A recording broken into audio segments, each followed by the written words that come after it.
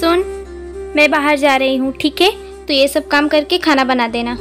ठीक है मैम साहब। एक काम करती हूँ आज देखती हूँ इसके अंदर कितनी ईमानदारी है। दे मुझे तेरे पास कहीं रह जाऊँ मैं। यहाँ पे क्या कर रही है तू? कुछ नहीं मैम साहब। ये अच्छी जगह पर रख रही थी मैं। झूठ बोलेगी?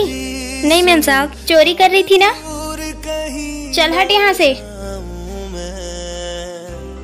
मेरे पैसे कहाँ गए?